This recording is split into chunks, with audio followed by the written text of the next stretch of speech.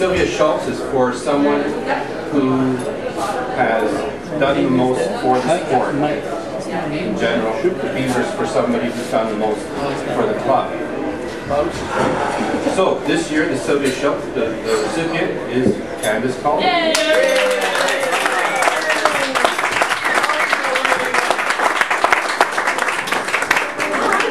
Oh, look at her go jumping up like her foot's going to be What? You can't say did you get all Yeah. Table's doing pretty well. The winner table.